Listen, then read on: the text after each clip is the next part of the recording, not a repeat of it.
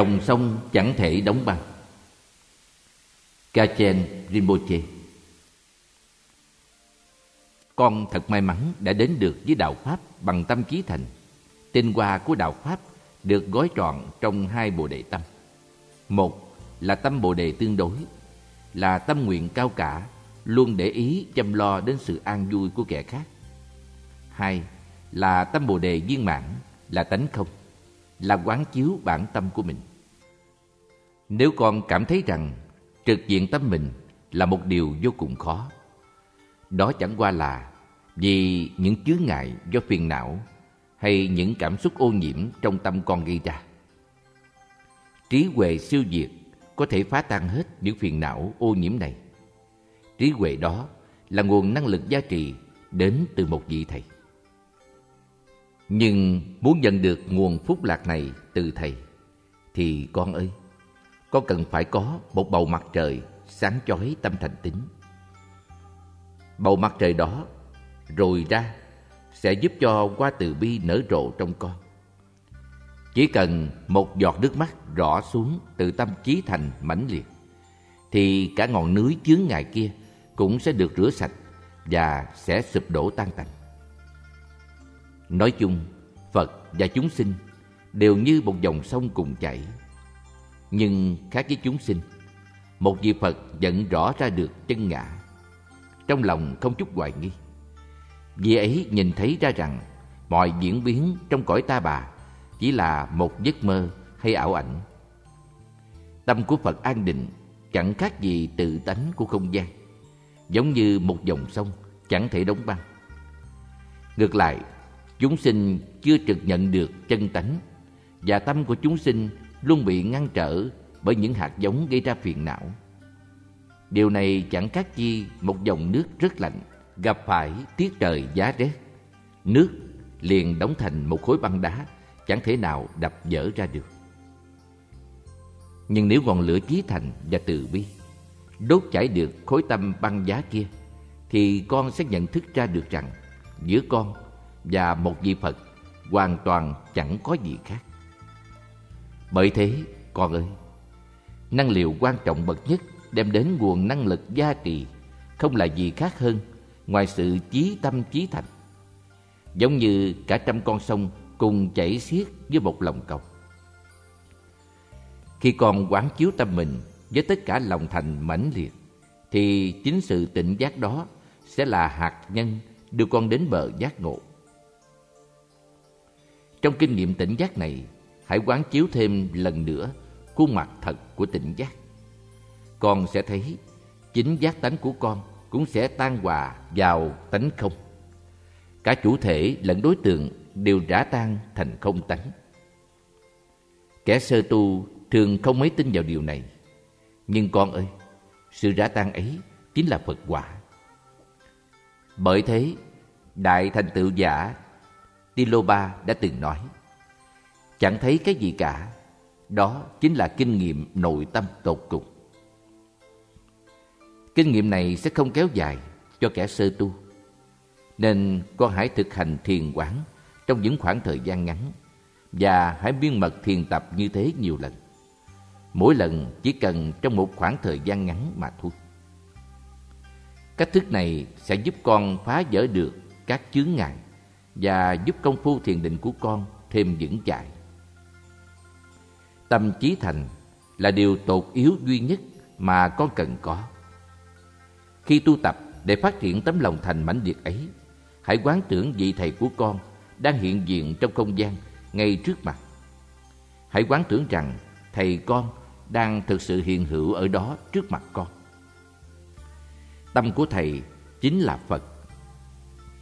Nên khi con khẩn nguyện, nguồn năng lực giá trị tất nhiên sẽ đến và thầy sẽ giữ con trong tâm của thầy. Đại sư Gachen Rinpoche Rikun Kayu đã viết bài pháp này cho Chem Bista, một trong hai người đệ tử Hoa Kỳ đầu tiên đặt chân đến chùa làng Ga vào tháng 8 1995 tại Nanchen, Tây Tạng. Và sau đó, bài pháp đã được đại sư Kenchen Concho Yansen Rinpoche chuyển từ tạng ngữ sang Anh ngữ vào tháng 9 1995 tại tu viện Chanchu Debra Dehradun, Ấn Độ với tên là A River That Cannot Be Frozen.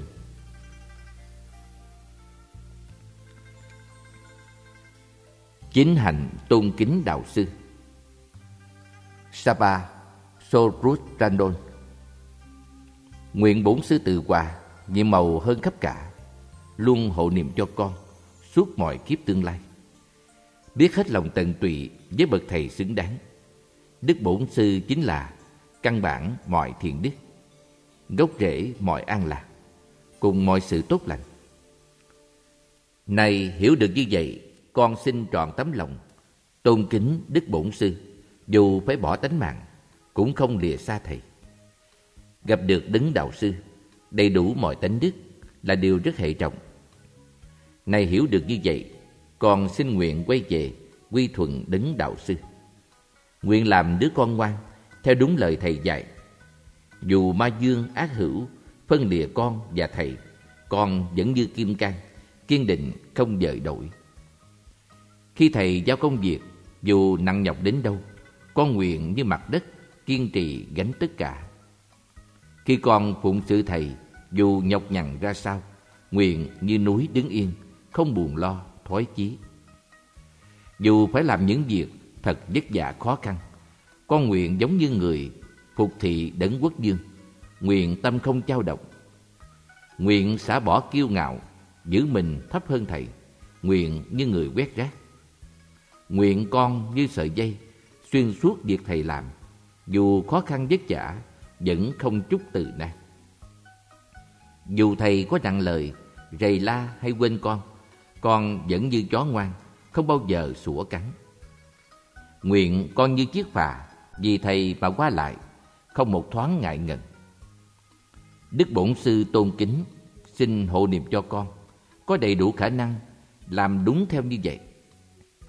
Từ nay cho đến hết, Mọi đời kiếp về sau, Xin tận tụy với Thầy. Miệng tụng thành tiếng, Tâm nghĩ đến ý nghĩa lời tụng. Làm như vậy sẽ gom đủ phước duyên Để đời đời có thể đương dựa đúng cách Nơi đấng đạo sư tôn kính. Nếu phụng sự tôn kính cúng dường đấng đạo sư Đúng theo chính sự nói trên, Dù không cố ý Cũng sẽ phát triển được nhiều đức tính, Gom được nhiều phước đức, Mau chóng thành tựu giác ngộ viên mãn. Chữ trong mặt đơn không cần đọc. Chỉ thêm vào cho rõ nghĩa. Nên nhớ lấy ý nghĩa trong đầu Nhưng không đọc thành tiếng. Gọi thầy từ chốn xa Bản ngắn. Gia Đông Phu Sanche Gawan Tejin Rinpoche. Thầy ơi, nhớ nghĩ đến con.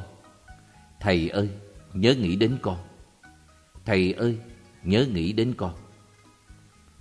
Thầy xua tan bóng tối vô minh, Thầy khai mở con đường giải thoát, Thầy cứu giúp chúng sinh thoát biển luân hồi, Thầy diệt tan hòa năm chất độc, Thầy là Ngọc Dương Như Ý Đứng đạo sư quy nghi tôn quý. Con khẩn xin Thầy Xin Thầy hộ niệm giá trị, Cho con nhớ cái chết, Cho con nhớ vô thường. Xin Thầy hộ niệm giá trị, Cho con thiểu dục tri túc. Xin Thầy hộ niệm giá trị Cho con trú ở định tâm. Xin Thầy hộ niệm giá trị Cho con lìa mọi chướng ngại. Xin Thầy hộ niệm giá trị Cho con chuyển cảnh ngộ khó khăn Thành phương tiện tu hành. Xin Thầy hộ niệm giá trị Cho con không chút dụng công Thành tựu việc tự lợi, lợi tha. Con khẩn xin Thầy đứng đạo sư tôn kính Xin hãy giúp con nhanh nhanh ngay trên chỗ ngồi này, Ngay trong buổi thiền này. Sau bài tụng này, Thích bài thỉnh nguyện đạo sư nào Thì chọn đọc bài ấy. Nguyện con không hoài nghi, Dù chỉ trong thoáng chốc, Việc làm thật bao la Của bổn sư từ phụ. Nguyện con luôn thấy được Tất cả việc thầy làm Đều nhiễm màu trong sáng. Nguyện năng lực giá trị của thầy luôn chan chứa Trong tận đáy tim con Đọc tiếp phần sau đây, Quán tưởng thầy tan hòa vào trái tim mình Thỉnh bổn sư tôn quý về trụ tòa sen nguyệt ngay giữa trái tim con. Xin dẫn dắt con đi bằng tình thương rộng lớn. Xin cho con thành tựu thân ngữ ý thanh tịnh, nhiệm màu của đạo sư.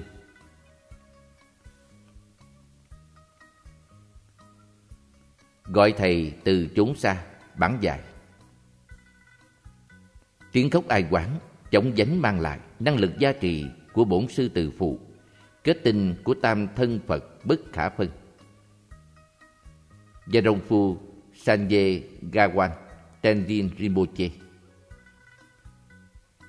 Thầy ơi, nhớ nghĩ đến con.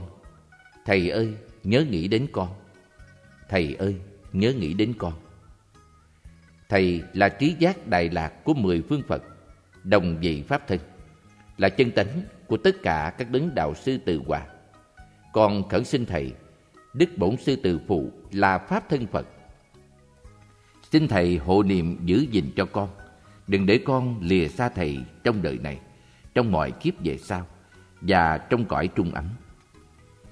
Thầy là tướng hiện quyền ảo của trí giác, là bậc tối thắng với bảy đại nguyện dương, là chân tướng của tất cả các đấng đạo sư từ hòa. Con khẩn xin Thầy, Đức Bổn Sư từ Phụ là thọ dụng thân. Xin Thầy hộ niệm giữ gìn cho con, đừng để con lìa xa Thầy trong đời này, trong mọi kiếp về sau và trong cõi trung ấm. Thầy là vô dạng biến hóa thân thị hiện tùy căn cơ của người cần giáo hóa, là diệu dụng thọ dụng thân của các đấng đạo sư từ hòa. Con khẩn xin Thầy, Đức Bổn Sư từ Phụ là biến hóa thân. Xin Thầy hộ niệm giữ gìn cho con, đừng để con lìa xa Thầy trong đời này, trong mọi kiếp về sau và trong cõi trung ấm. Thầy là ba thân Phật không thể phân, hoặc hiện tướng đạo sư là một với cốt tủy tinh túy của tất cả các đấng đạo sư từ hòa. Con khẩn xin Thầy, Đức Bổn Sư Từ Phụ là tam thân bất khả phân. Xin Thầy hộ niệm giữ gìn cho con, đừng để con lìa xa Thầy trong đời này, trong mọi kiếp về sau và trong cõi trung ấm. Vô lượng chư tôn Pháp chủ Mạng Đà La, tướng dạng quay nộ hay từ hòa đều là chân tánh của Thầy. Ngoài Thầy ra, không có đấng bổn tôn nào khác. Con khẩn xin Thầy, Đức Bổn Sư Từ Phụ là tổng hợp của mọi đấng bổn tôn. Xin Thầy hộ niệm giữ gìn cho con, đừng để con lìa xa Thầy trong đời này, trong mọi kiếp về sau và trong cõi trung ấm. Sắc tướng phổ thông của mười phương Phật Đà hoạt hiện thành tướng đạo sư. Ngoài Thầy ra, không có Phật nào khác. Con khẩn xin Thầy, Đức Bổn Sư Từ Phụ là tổng hợp của mọi đấng Phật Đà. Xin Thầy hộ niệm giữ gìn cho con, đừng để con lìa xa Thầy trong đời này, trong mọi kiếp về sau và trong cõi trung ấm. Thầy là chân tướng bi trí dũng của Phật Đà hoạt hiện, là ba đấng Thế Tôn thủ ngôi ba bộ Phật. Con khẩn xin Thầy, Đức Bổn Sư Từ Phụ là tổng hợp của cả ba bộ Phật Xin Thầy hộ niệm giữ gìn cho con, đừng để con lìa xa Thầy trong đời này, trong mọi kiếp về sau và trong cõi trung ấm. Một trăm bộ Phật, năm bộ Phật, ba bộ Phật, phân thành bao nhiêu bộ Phật đều vẫn chỉ là Thầy. cả bậc đại đạo sư bao trùm mọi bộ Phật cũng vẫn chính là Thầy. Con khẩn xin Thầy, Đức Bổn Sư Từ Phụ, bậc Thầy của mọi bộ Phật Xin Thầy hộ niệm giữ gìn cho con, đừng để con lìa xa Thầy trong đời này, trong mọi kiếp về sau và trong cõi trung ấm. Thầy tạo nên mười phương Phật Pháp Tăng. Thầy thu tốn toàn bộ Tam Bảo. Con khẩn xin Thầy, Đức Bổn Sư Từ Phụ là tổng hợp của mọi nẻo quy y. Xin Thầy hộ niệm giữ gìn cho con, đừng để con lìa xa Thầy trong đời này, trong mọi kiếp về sau và trong cõi trung ấm. Nhớ Thầy là chân tướng chư Phật hoạt hiện, luôn từ bi hộ niệm cho con. Xin Thầy giúp con luôn nghĩ tới Thầy. Nhớ con là đứa con bất hạnh, không ai ngó ngàng. Được Thầy dắt tay vào đường tu không mê lầm. Xin Thầy giúp con luôn nghĩ tới Thầy. Nhớ thân người đầy ý nghĩa, khó được mà dễ mất. Nguyện tận dụng khả năng kiếp người, biết chọn lựa phân biệt giữa điều cần lấy, cần bỏ, giữa hạnh phúc và khổ đau. Xin Thầy giúp con luôn nghĩ tới Thầy. Nhớ nỗi bàng hoàng không biết phải làm gì khi cái chết bất ngờ ập đến. Chơi dơi trong nỗi sợ hãi lớn lao. Xin Thầy giúp con luôn nghĩ tới Thầy. Nhớ nỗi quan mang trong phút giây phải lìa xa mọi sự toàn hảo trong đời. Một mình dấn thân vào cõi vô định, xin Thầy giúp con luôn nghĩ tới Thầy. Nhớ thân con trần trùi rơi vào biển lửa hải hùng cõi địa ngục. Không làm sao đủ khả năng chịu đựng, xin Thầy giúp con luôn nghĩ tới Thầy.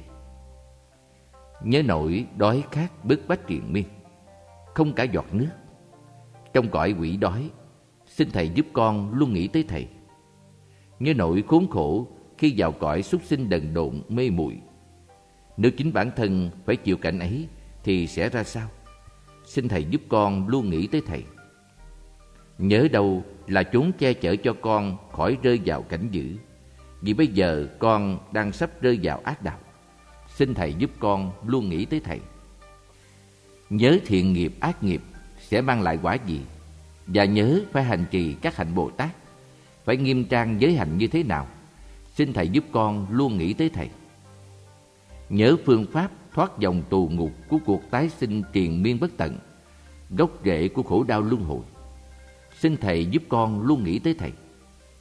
Nhớ cảnh khốn khổ của các bà mẹ nhiều đời đáng thương của con đầy khắp không gian vô tận rơi vào biển rộng luân hồi chịu đủ sợ hãi khổ đau. Xin thầy giúp con luôn nghĩ tới thầy. Vì vậy xin thầy hộ niệm cho con đủ khả năng thực chứng ba điểm tinh yếu của đường tu cùng hai giai đoạn. Xin hộ niệm cho con khởi tâm cầu giải thoát, nhất tâm tinh tấn hành trì với định tuệ để đến với bình an niết bàn giải thoát. Xin hộ niệm cho con phát tâm Bồ đề, phát đại nguyện gánh lấy trách nhiệm giải thoát toàn thể chúng sinh. Xin hộ niệm cho con bước theo biển rộng các đấng Thế Tôn với ý chí kiên trì vượt tận muôn trùng sống cả của hạnh nguyện Bồ Tát. Xin hộ niệm cho con chứng được chân tánh, thoát mọi cực đoan, nơi mà tánh không và duyên khởi, tướng hiện và tánh không bổ sung lẫn nhau. Xin hộ niệm cho con mau chóng có được kinh nghiệm mang ba thân Phật vào đường tu, làm thành thục nền tảng của sinh tử và cõi trung ấm. Xin hộ niệm cho con hoạt hiện thân như quyển nhiệm màu, là diệu dụng của tứ hỷ và tứ không thu nhiếp khí và tâm về đường khí đạo chính giữa xin hộ niệm cho con gặp được đấng đạo sư chân chính là bản lai diện mục của chân tâm. Sau khi mọi lớp màng của khái niệm chấp có tự tánh và nhận thức tưởng thật có tự tánh đều tan biến. Xin hộ niệm cho con cùng tam mật của thầy trở thành không hai. Trong pháp thân bao la của Đại Lạc, nơi toàn bộ hai loại chướng ngại là phiền não chướng và trí chướng đều được tiêu trừ. Nói tóm lại, xin Thầy an trụ ngay giữa trái tim con cho đến khi giác ngộ viên mãn. Xin từ bi hộ niệm cho đứa con này được noi theo gót chân cha. Thầy ơi, nhớ nghĩ đến con. Thầy ơi, nhớ nghĩ đến con. Thầy ơi, nhớ nghĩ đến con. gọi thầy từ chốn ngàn xa lời khẩn nguyện xuyên thấu tâm can với lòng quy ngưỡng chí thành chamgon kongtrul rinpoche lojothe ôi khổ thay chúng sinh như con với hành và nghiệp xấu đã từng nổi trôi trong vô lượng kiếp rồi trải qua bao thống khổ khôn nguôi nhưng chẳng một giây phút nào mãi mai hối hận thầy ơi xin hãy nhớ nghĩ đến con Xin hãy mở rộng lòng từ bi. Xin hãy gia hộ để tâm nhàm chán sinh tử sẽ phát khởi từ đáy lòng này. Với tự do và tiền của, con phung phí đời mình. Chuyện thế tục dùng dặt, con luôn bận tâm đau đáu. Nhưng khi dấn bước trên đường tu giải thoát, thì lại để cho sự lười biếng khống chế. Từ hòn đảo đầy châu báu này, con trở về với đôi bàn tay trắng. Thầy ơi, xin hãy nhớ nghĩ đến con. Xin hãy mở rộng lòng từ bi. Xin hãy gia hộ để đời người hiếm quý này được trọn vẹn ý nghĩa.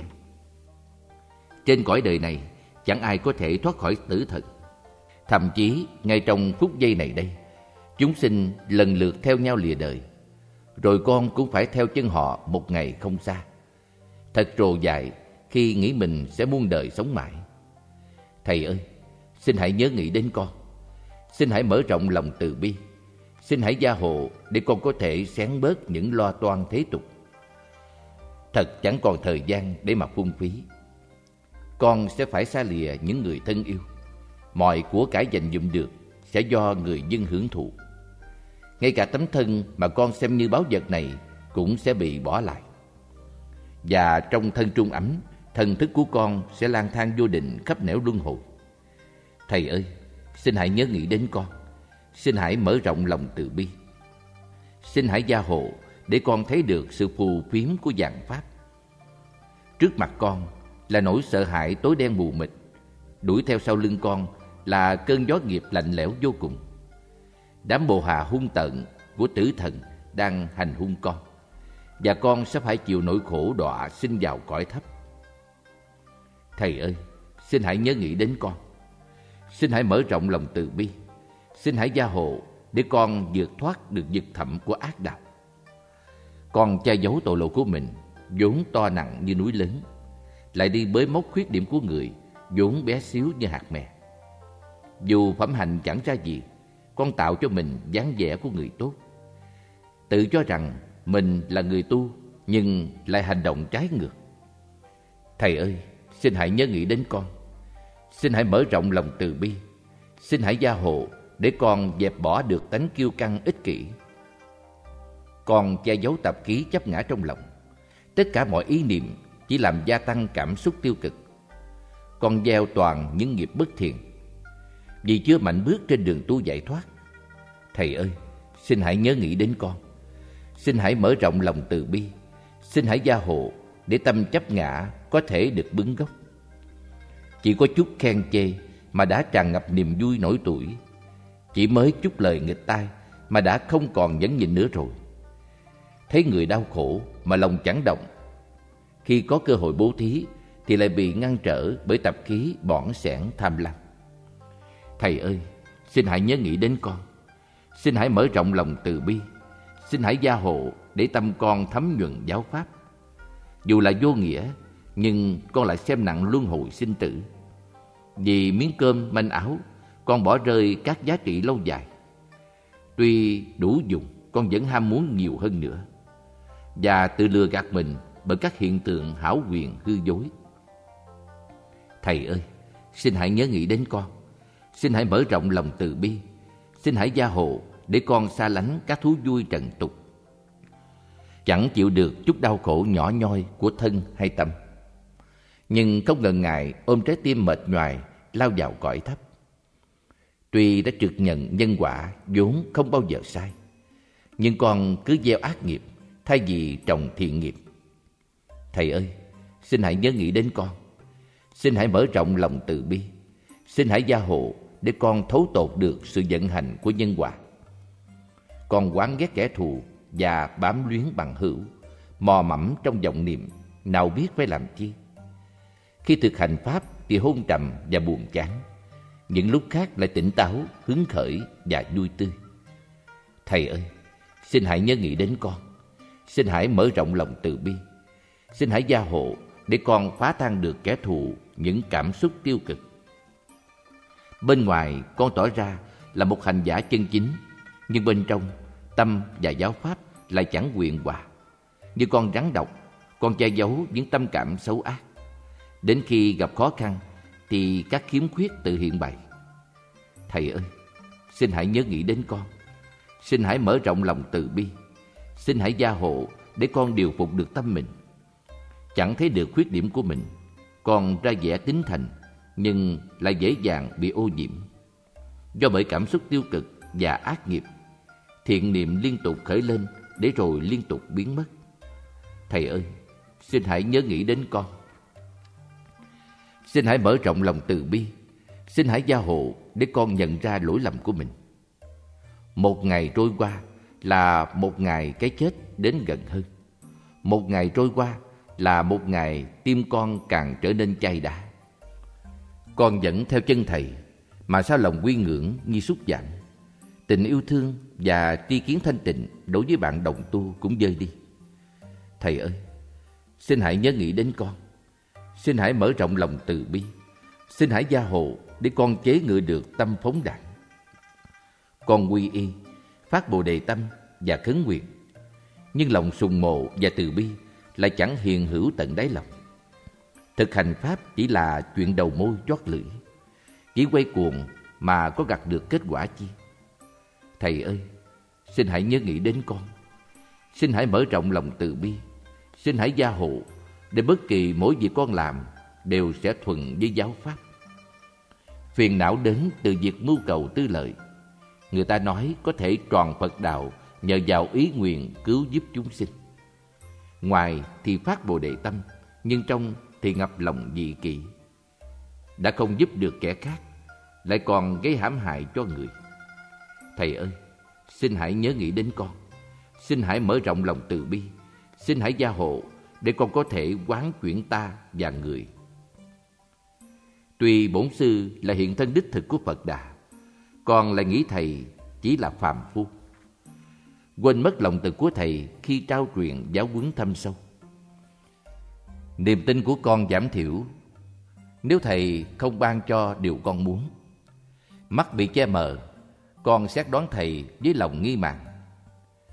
Thầy ơi, xin hãy nhớ nghĩ đến con. Xin hãy mở rộng lòng từ bi. Xin hãy gia hộ để lòng sùng kính đạo sư mãi tăng không giảm. Mặc dù tâm tức là Phật, nhưng con vẫn chưa nhận ra. Mặc dù ý tức là Pháp giới, nhưng con vẫn không thấu hiểu. Mặc dù bẩm sinh không tạo tác, nhưng con vẫn không ăn trú được. Mặc dù nền tảng căn bản vốn đương nhiên, nhưng con vẫn còn nghi ngờ. Thầy ơi, xin hãy nhớ nghĩ đến con. Xin hãy mở rộng lòng từ bi. Xin hãy gia hộ để giác tánh bản nhiên sẽ tự tan hòa, tự giải thoát. Mặc dù cái chết chắc chắn sẽ đến, điều ấy chẳng thể thấm nhập tâm con. Mặc dù thực hành giáo pháp chắc chắn sẽ mang lại lợi lạc, con lại chẳng thể thực hành. Mặc dù luật nhân quả chắc chắn không sai, con chẳng phân biệt được đúng sai. Mặc dù chánh niệm chắc chắn là cần thiết, con chẳng thể thực hành vì luôn tác ý. Thầy ơi, xin hãy nhớ nghĩ đến con. Xin hãy mở rộng lòng từ bi. Xin hãy gia hộ để con giữ được sự tỉnh thức, không sao lãng. Do ác nghiệp đã tạo đời trước, con sinh ra vào cuối thời mạt Pháp này. Tất cả những gì con tạo tác đều chỉ dẫn đến khổ đau. Tác động tiêu cực của kẻ khác phủ chụp bóng tối lên con. Công phu tu tập thường bị gián đoạn bởi các câu chuyện phím vô bổ. Thầy ơi, xin hãy nhớ nghĩ đến con. Xin hãy mở rộng lòng từ bi. Xin hãy gia hộ để con có thể kiên trì thực hành giáo pháp. Khởi đầu, con chẳng nghĩ đến gì khác ngoài giáo pháp. Nhưng cuối cùng, nghiệp báo lại chỉ là luân hồi và đọa sinh vào cõi thấp. Mùa màng giải thoát bị tàn phá bởi băng giá ác hành.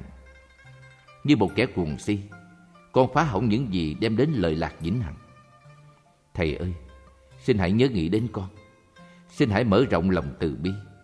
Xin hãy gia hộ để con viên thành giáo pháp tối thượng. Xin hãy gia hộ để tâm xả ly bén rễ sâu tận đáy lòng. Xin hãy gia hộ để con không phí phạm thời gian, dẹp bỏ được những mưu toan thế tục. Xin hãy gia hộ để cái chết thấm nhập tâm can. Xin hãy gia hộ để con hoàn toàn tin tưởng vào luật nhân quả. Xin hãy gia hộ để đường tu không còn chướng ngại. Xin hãy gia hộ để con có thể tinh tấn tu hành. Xin hãy gia hộ cho gian khó trở thành phương tiện. Xin hãy gia hộ cho con luôn kiên định với đầy đủ phương thuốc đối trị. Xin hãy gia hộ cho con có được lòng quy ngưỡng chí thành. Xin hãy gia hộ cho con trực diện được chân tánh. Xin hãy gia hộ cho giác tánh bản nhiên bừng khởi trong tâm. Xin hãy gia hộ cho mọi kinh nghiệm mê lầm đều được bứng rễ xin hãy gia hộ cho con trọn thành Phật đạo chỉ trong một đời. Ôi đạo sư tôn quý, con khấn nguyện thầy. Ôi pháp dương từ ái, con mong mỏi kêu cầu ngài. Phước mỏng, nghiệp dày, niềm hy vọng duy nhất của con là thầy. Xin hãy gia hộ cho tâm thức thầy trò nguyện hòa làm một. Trên đây là trích đoạn phần thứ nhì của tác phẩm Gọi Thầy từ chốn ngàn xa của Chamgon Kongtrun Rinpoche Lotothe 1813-1899 Kama Kachun. Ghi chú của tác giả Chamgon Kongtrun Rinpoche Mặc dù từ rất lâu nay, có nhiều hành giả với lòng sùng mộ chí thành đã khuyến khích tôi sáng tác một tài liệu như thế này, nhưng tôi đã lơ là và không thực hiện việc ấy. Mới đây, do sự khẩn nài của cả hai vị Samrup Tronma, một nữ hành giả cao quý, cũng như Deva Kasita, thi kệ trên đây đã được viết ra bởi Lotrothe, một kẻ chỉ thuần túy mang trên mình hình dạng một lạc ma của thời đại đen tối tại trung tâm hành trì vĩ đại có tên Yongso Tisetuba. Nguyện thiện đức luôn tăng trưởng. Ghi chú của dịch giả anh ngữ Để hoàn thành ước nguyện của Tunku Uchan Rinpoche, bản dịch Anh ngữ đã được thực hiện như một phẩm vật cúng dường từ ba đệ tử Ikri Bema Kunsan, Ian Sauti và Michael Swift Ranjun Jesse Teleson và Publication Deban. Chúng tôi xin đồng cảm tạ Nalanda Teleson Committee, Ringu Junku và Michel Martin đã thực hiện những bản phiên dịch trong quá khứ. Nguyện tái sinh của Junku Uchen Rinpoche mau chóng trở lại. Tiểu nhỏ và Tâm Bảo Đàn đồng tâm chuyển Việt ngữ và hoàn tất vào ngày 27 tháng 10, 2010 với tất cả tấm lòng thành hướng về suối nguồn tâm bao la của Chamgon Kongtrul Rinpoche, Lotothe cùng tất cả những quá thân của Ngài trong quá khứ, hiện tại và vị lai. Thầy Chúc Khả soát bản thảo và góp ý. Trung tâm Diệu Pháp Âm Chùa Khuôn Việt Số 1355 Hoàng Sa phường 5, quận Tân Bình, thành phố Hồ Chí Minh. Website diệu pháp âm.net hoặc diệu pháp âm.vn